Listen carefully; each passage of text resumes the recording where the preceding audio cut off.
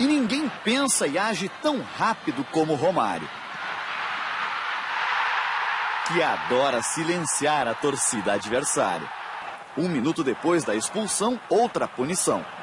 Este cruzamento. Não venha dizer que quis fazer o gol, hein, Atirson? Eu fui cruzar, a bola pegou um pouco de efeito e a, a bola entrou. Que todo mundo viu, eu quis fazer o gol. Eu posso falar que não. Tá bom, Atirson, a gente acredita. Inacreditável, o Mengão reage. Dois gols em três minutos.